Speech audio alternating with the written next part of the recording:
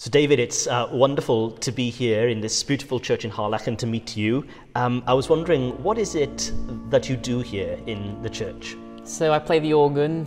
Uh, I play the organ in Llanfair as well as Harlech. Fantastic. I play at the start of services, in, in services for people to sing, during communion, and then as people go out as well.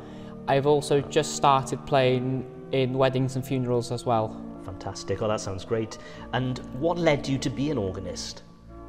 Well, my mum gave me my opportunity, an opportunity to play the piano when I was six years old, and then I was given the opportunity from the vicars Pam Odom and Sally to start playing the organ. Great. So Sally gave me the opportunity one day to come and have a look at the organ, mm. and then Pam guided me by giving me my first service, carol service, uh, to play one of the carols. Brilliant. and then Pam helped me with by playing the pedals with the organ.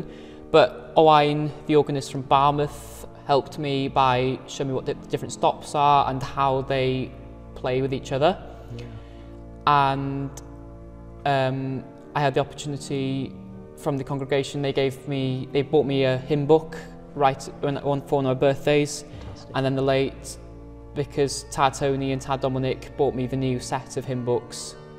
That's wonderful. Brilliant. And what do you enjoy most about being an organist? Well, probably definitely the loud noise that the organ makes. but um, I love a challenge Yeah.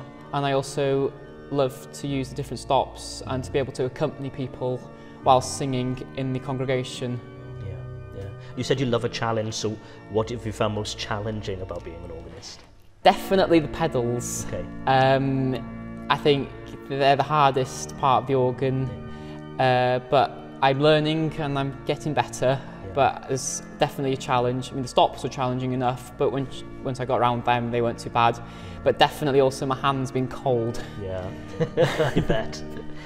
And um, what would you say to someone who might want to learn to be an organist or who may be interested in becoming an organist? Well, definitely if you play the piano, then I definitely would recommend it. Um, but also if you enjoy accompanying as well, Yeah. because uh, by playing the organ, you can accompany the the congregation, and even if the church has got a choir.